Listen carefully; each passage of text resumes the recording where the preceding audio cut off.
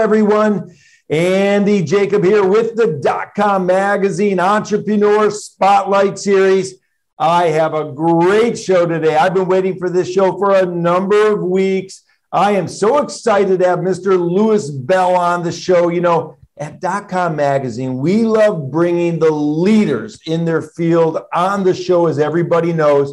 And one thing we love at dot com magazine, as everyone knows that watches the show, is speed. I mean, we love fast things. We love fast motorcycles, fast cars, fast jets. And of course, what we've got today is a very fascinating interview with Mr. Lewis Bell, who's the founder and CEO of, get this name, Speedbird Jets. And he's a remarkable founder, a remarkable leader and CEO. He's in the jet charter business and he specializes in citation tens. We're going to get into it all.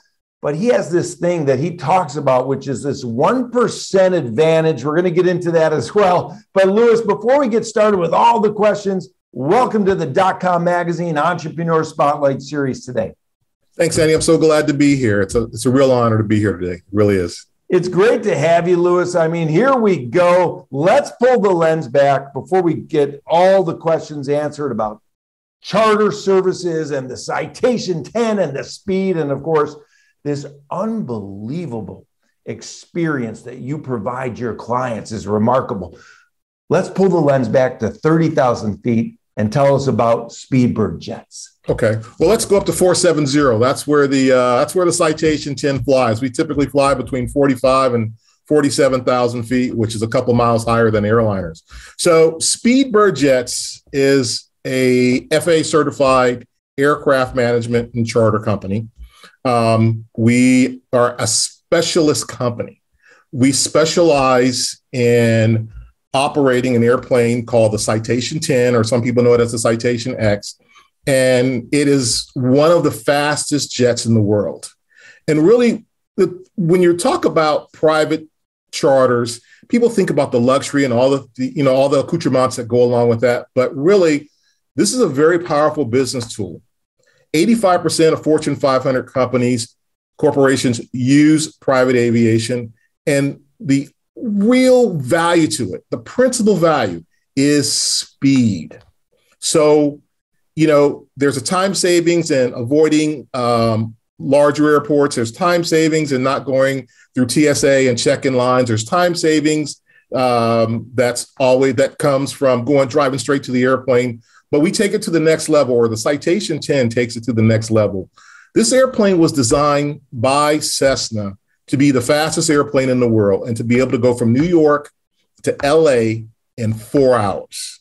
And if you think about that, you can leave LA, go to New York, have a meeting, and be home for dinner back in Los Angeles. It's, it's, it's a remarkable airplane. It's a niche airplane. It's not the largest private jet in the world um, but it's the Lamborghini or Ferrari of private jets, and people love this airplane. Um, it has a unique distinction of being operated by NetJets at one time, which is probably the industry's largest company, along with a, a lot of others. And is a lot of NASCAR people have, have owned the airplane, so it's a great airplane. And um, what we noticed at Speedbird Jets when I was putting this company together is we noticed that, and, and we're based in Southern California, we noticed there were a lot of big irons, what we call in the industry Gulfstreams, which you know, it's kind of synonymous now with private aviation, the Gulfstream G4 or G5. You hear it in songs, you see it, uh, the airplanes in movies. You know, it's like Learjet was back in the 60s and 70s. So now it's Gulfstream. Well, we looked at the market and we noticed in LA alone, there were probably two dozen Gulfstreams available for charter. Same in New York, same in South Florida. And those are big, big aviation markets. But we noticed there weren't a lot of Citation 10s that were available for charter. Lots of private owners had them, fractional folks were using them, not a lot for charter. So we, when we were putting together, putting Speedbird jets together, we actually um, saw an opportunity, we saw an opening. And so we actually built this company around the Citation 10, hence the name Speedbird Jets. Lewis, I love it so much. You found this open corridor with the Citation 10. And of course, you hang your hat on the speed. And of course, there, they're they're they're luxurious as well. But we're we want to talk about the speed because what you said makes all the sense in the world. Someone from LA goes to New York, four hours, they have a meeting, they can come back, be home for dinner. It's so remarkable. What types of clientele reach out to you at Speedbird Jets? And, and where are they going? Where, where are the, the, the, the cities that people are going to the most right now using your service? Well, you know, we fly everyone from small business owners, entrepreneurs, C suite executives, entertainers. Um, and our most common routes are coast to coast, those coast to coast routes, LA to New York, Seattle to New York, uh, LA to Florida, Florida to LA. So those coast to coast routes where people can, where the, where the airplane can really demonstrate it, its, its, um, its capacity. Now, we, again, we're really, we're a specialist company. When I put this together, again, we were, we wanted to be very surgical in our approach to the market. There are a lot of big guys out there. We're coming into the market. We're coming in a little stealth, a little guerrilla marketing, and we're constantly looking for where for areas where we felt we could do better. So our actual customers are charter brokers and other charter operators. Unlike uh, today, when you buy an airline ticket, when you can simply go online to an internet exchange, most charter flights are still arranged by charter brokers and I'd say about 60%. So we focus on those charter brokers. We really don't, um, we'll, we gladly fly anybody who calls us up, but we really focus on those charter professionals who know the industry, they know our capacity, and most importantly, they trust us with their clients. It's so powerful. And for the entrepreneurs watching the show, rewind what Lewis just said. I mean, he really gave you a a mini USC or Harvard or UCLA, you know, business school sort of explanation about business right there. He found the open corridor. He's a specialist. His company really specializes in this one area. He's not a generalist, and specialists typically win, and generalists typically lose. Now, Lewis, you have this one thing. I called it was I called it earlier the one percent advantage. You call it the one percent difference. Let's talk about that. What does that mean to you and your customers when you give them this 1% difference? So, the service in itself, it's a very high end service. The expectation is in the 99th percentile. So, you know, the analogy is if you go to a Hilton property or a Marriott property versus a Travelodge or something, there's a certain expectation. You expect certain things from a Hilton. Now, if you transition and you're going to a Ritz Carlton or St. Regis or Four Seasons, the expectation is even higher. The expectation is the chocolate on the pillow. So, as a, a private jet or private transportation provider, the it's the, the expected norm is that it's going to be a phenomenal experience. And Speedbird Jets, along with most of our competitors, we do offer phenomenal experience. So, how do you break out? We break out that 1% difference really is still that personal interaction.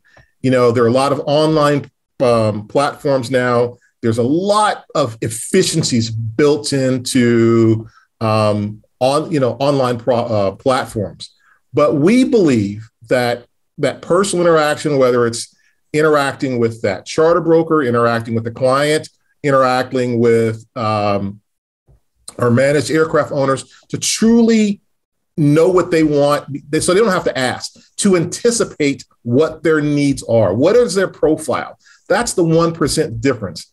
And we and once we figure that out we can't sit back and rest on our laurels. We have to continually push that envelope for that 1% difference. You know a lot of people now um, fly with their pets for example and that's one of the great things about flying privately is is you know the pet is, is a part of the family um, hey, if you're flying with your, you know, your four-legged family member, do we have water bowls on the airplane or pee pads or things of that nature? Just anticipating what that need is. I, that's the one percent difference.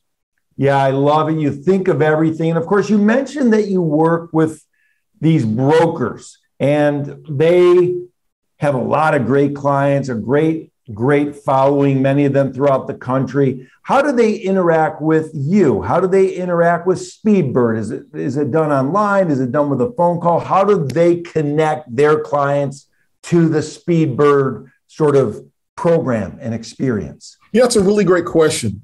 This, I, I call this industry a multi billion dollar mom and pop industry. It really is.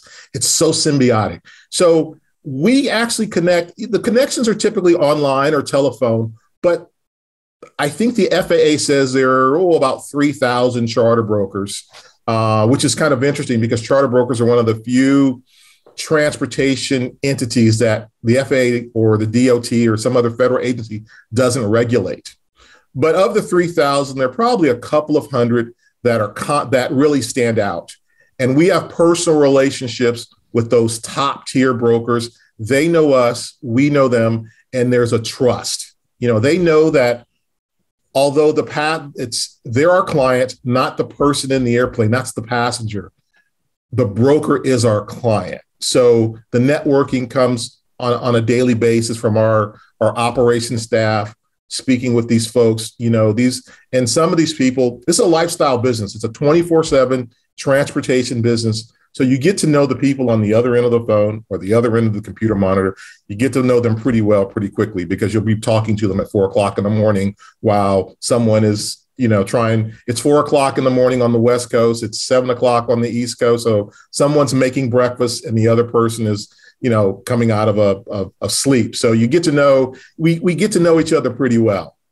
Yeah, I love it so much. That makes all the sense in the world, and you're accessible all the time. Now, many years ago, there was a rock and roll band, and they would go to a concert venue, and they would have a sheet of paper where they would have their list of demands. And one of the demands that was a famous demand was they only wanted green and green M&Ms. So someone would have to sit there and pull all the reds and the browns out because they only wanted the bowl of green M&Ms.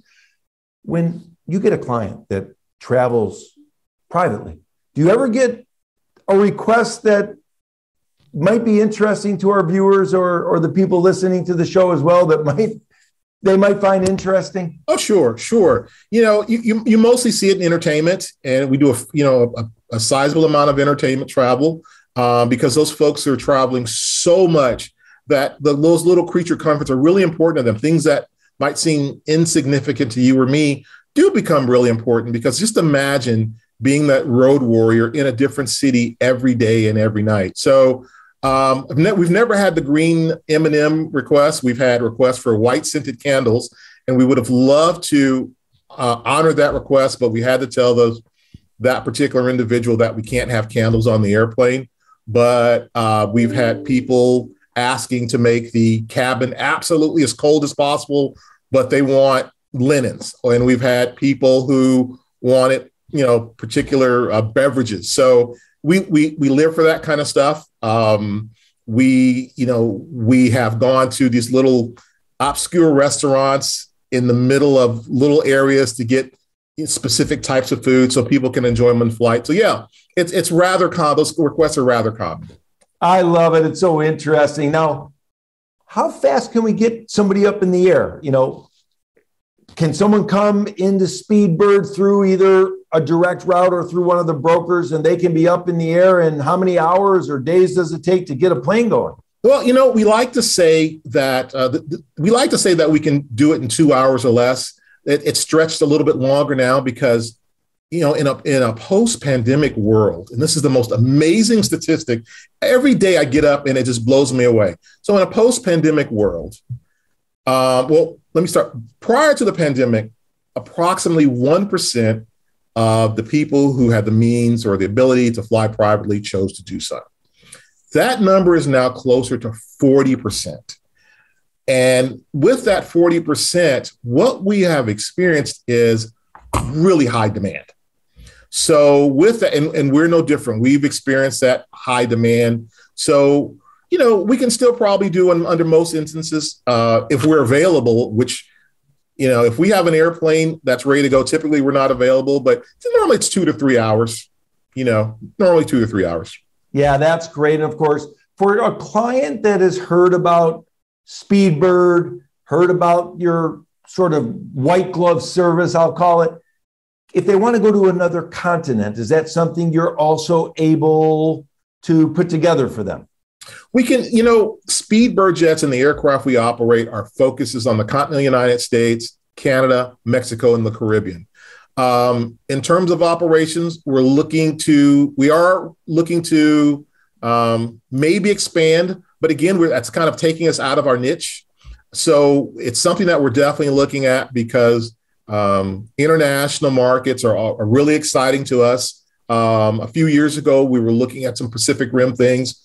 The Citation 10 isn't the airplane for that. If there's another airplane that we'd be looking at for that one. So it's something that possibly is, is on the horizon for us, um, handling Europe, Asia, and, and, and Central and South America. Yeah, that's awesome. And of course, again, you're staying in your lane. You're staying in this open corridor where you have become the expert, the go to company for this type of opportunity, especially with the Citation 10. I love it so much. Now, Lewis, let's talk about corporate culture because you know corporate culture starts at the top.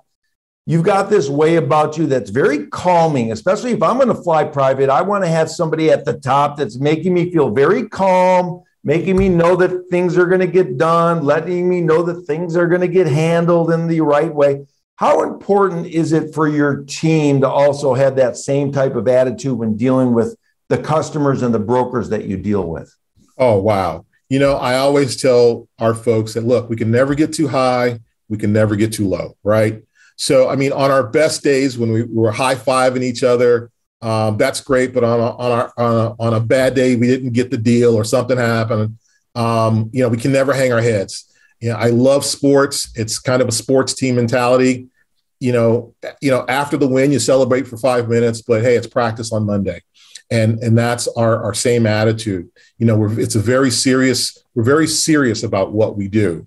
But also it's important for my for myself as well as my team members that we enjoy what we do right? So that's why i'm always preaching you never get too high you never get too low. And, and, and you know but enjoy the journey because this is you know we're all privileged to work in in this profession. It's a sexy industry. We meet lots of great people. We have great experiences. We have great stories so it's it's it's a real privilege. It really is.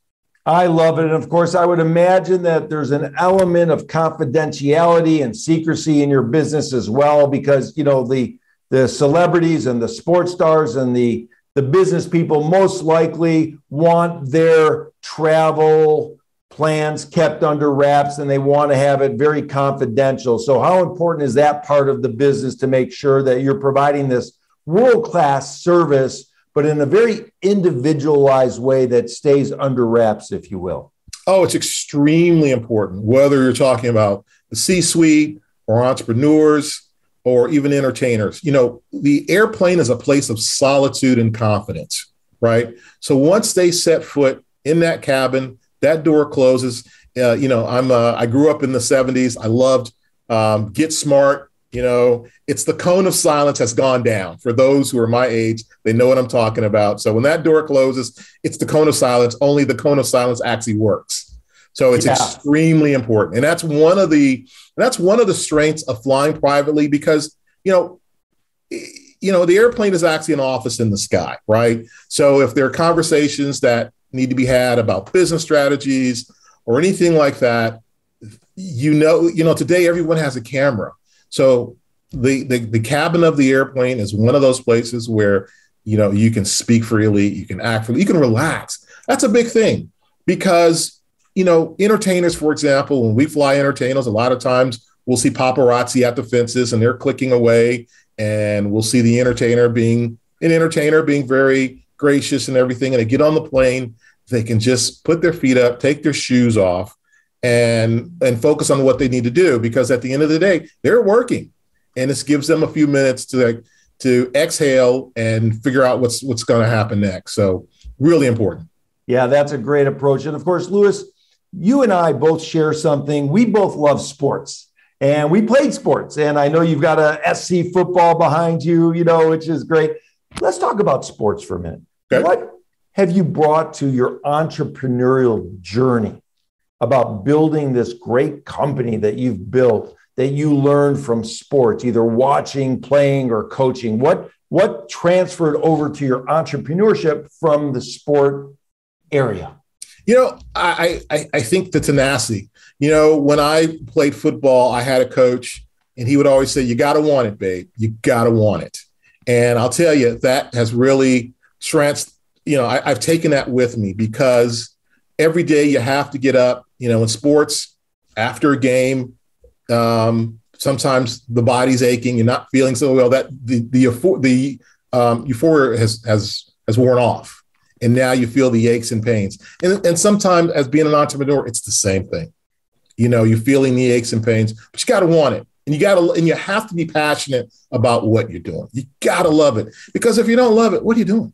You know, it's it's such a sacrifice to to do this. I don't if you are running a lemonade stand or a Fortune 500 with tens of thousands of employees, it is a, it's a sacrifice, but it's also a privilege and a responsibility because you're leading something and people are depending on you and feeding on you. And that goes right back to sports. If you're the team leader, hey, if your teammates see you bent over and you're looking dejected during tight times, well, they're saying, hey, if our guy is, is, is not believing, should we believe? But when our guy is standing tall and he's breathing in and out, he's got his hands on his hip, he's ready to go. If you think about a Michael, you know, Michael Jordan or Magic Johnson or Larry Bird, then you know you can push through too. And that's really what I, I, I bring from sports.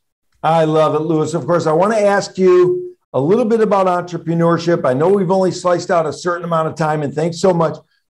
But what I wanted to ask you also, you know, this citation 10, I mean, known for its speed, but the other thing that it's known for is its safety. So let's talk about that a little bit because that's important to people, you know, flying private. It is. It is. The actually the Citation 10 is actually an award-winning airplane. Uh, it was designed by Cessna back in the um, the early to mid 90s, and um, you know NetJets, which is the, the largest fractional or business jet operator in the world, they were the launch customer. And the airplane has literally flown millions of miles safely. It is an incredibly safe airplane. It's got redundancies built into it. It, it, it is an amazing piece of machinery. It, it, it really is. Um, it, it's an amazing. I laugh because you know we fly that thing every day, or we fly our airplanes every day um, through all different types of weather. We get up every morning. I get up. The first thing I do is I turn on the weather channel. So, you know, what are we dealing with today? Because being here in Southern California, it's sunny and 70, 300 days a year, but we'll look and I'm like, okay, you know, one of the really popular destinations is New Jersey. We fly into Teterboro. Like, okay, what are we looking at Teterboro? How does Chicago look today? Like, oh, it's three below zero. Okay, so we, you know, we know what we're we're getting ourselves uh, geared up for, and really, it's it's it's the the the weak link in the whole deal, or the actual the crews you know, I'm we're always concerned about um, crew members making sure that they're safe, making sure that they're warm, making sure that they don't slip and fall. The airplane's going to do its thing. We just have to be sure that we're we're keeping up with the airplane. You know, even in the cockpit, our guys and gals who fly, hey, they have to be, you know, it's called being in front of the airplane. And this plane is traveling at nine miles a minute. So they really have to stay in front of the airplane. Um, but the airplane it's it's not the easiest. I'm not a pilot, by the way, but um, pilots have told me that it's it's not an easy airplane to fly, but it's fun, and a lot of it has to do with its redundancies, and you know it, it's still kind of a stick and rudder airplane. Lot, you know, so it was really. I, I hate to use the word over engineered, but they really, you know, Cessna really did their homework on this airplane. They really did. I love it. It's powerful. And how many people fit into a Citation 10? You know, it's certified for eight people, but most private jet flights, you're typically flying between two and four. And that's one of the again, that's one of the advantages of the of the 10 is it's got eight nice big captain's chairs. So if you do have eight people in there, I'm a big guy. I fit just fine. You know, uh, you can put eight people in there and it's comfortable, but but really when the average the average flight is between two and four people, you can recline the seats, they articulate, it's it's very comfortable.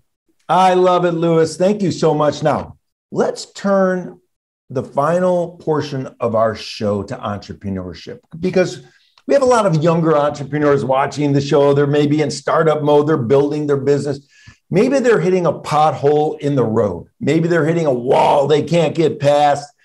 Maybe they're freezing in the frame. They don't know what to do because they're younger entrepreneurs or don't have the experience. So I'm hoping, Lewis, based on your experience with your success, what you're doing at Speedbird and everything else before Speedbird, which is remarkable, you could share some insight to the younger entrepreneurs about how to get through a tough time, how to get through a roadblock, what it takes to get through a wall and come out the other side, uh, thinking to yourself that you're happy that you had that challenge, that you got through, and now you're better for having gone through it. Right. You know, so everything is a learning moment. I've had success, I've had failures. And the, the first time you come up against a substantial roadblock or you actually are unsuccessful in something, it goes back to the sports mentality. You know, that game is over. The season's not. And you have to look back and see what did you learn? What can you do differently? You know, it's it's you know every it, every day is, is is not going to be an easy day. Uh, I think the Navy SEALs during their training said the only easy day was yesterday. And sometimes as an entrepreneur, you feel like that. Uh, the funniest thing, I've been an entrepreneur for 22 years. And the first thing that I noticed as an entrepreneur, I was blessed enough to start getting employees. When I was an employee, like most employees, I would always look forward to payday. Yay, it's payday. As an entrepreneur, I'd look up and go, what? It's payday again? You know, because now you're responsible for people. So you have to keep that in context and uh, context and understand it's a privilege to be here you are actually doing exactly what you want to do. Most of us work for someone else. I've done it. I've been fortunate to work for some amazing people, amazing entrepreneurs. But, you know, now that I'm out on my own, that's a privilege. And for those young people who are coming out on their own and having tough times, understand it's a privilege. And with that privilege comes responsibility. And and it's not for everyone. It really isn't. But for those, and I think I think you figure it out pretty quickly. Just just power through. Just make it to the end of the day. Don't look at the top of the mountain. Just look at the next mile. I love it. And of course, as entrepreneurs, you and I both know that if you're not hitting those potholes, you're not hitting those challenges, you're not pushing hard enough. So that's great advice, Lewis. Listen, this has been a great interview. I mean, what you're doing with Speedbird is so remarkable. The Citation 10 experts. I mean, speed is the key, and this this one percent difference that your company sort of hangs its hat on is is just resonated for so many people throughout the country. So, congratulations, Lewis. This has been so fascinating to have you on the show. I'm going to bring you back again because I can talk about speed with you for days. So, this has been a great interview. Thanks so much, Mr. Lewis Bell for coming on the show. This has been absolutely awesome. It's been an absolute pleasure and a joy, and I'd love to come back anytime.